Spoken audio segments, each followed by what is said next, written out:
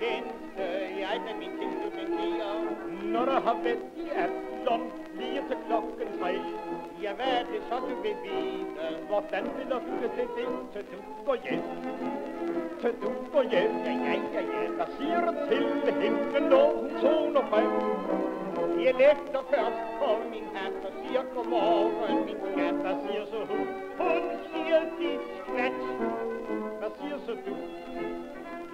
geschæft. Hvad siger så hun? Siger hun noget? Hun siger hold kæft.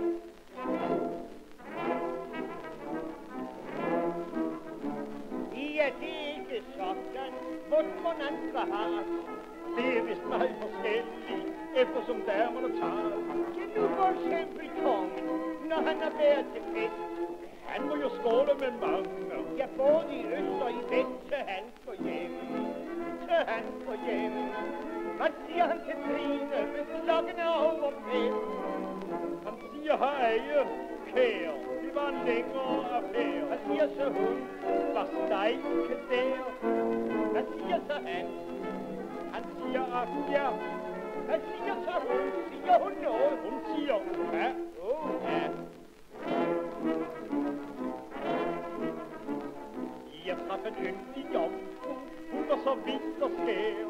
Så var det nærmest uheldigt, at du skulle komme hende nær. Vi tog en dag på skovtur, ud i den lyse mig.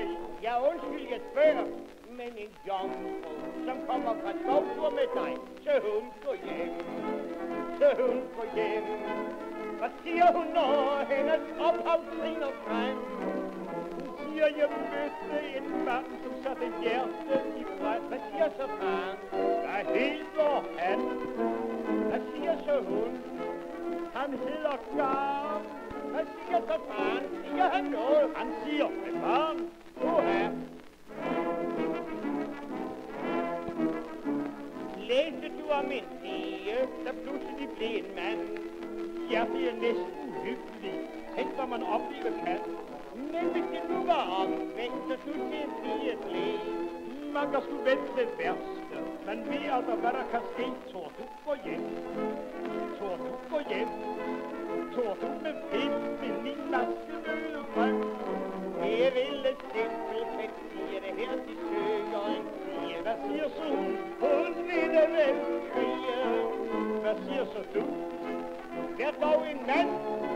Hvad siger så hun? Siger hun noget? Hun råber vand, vand!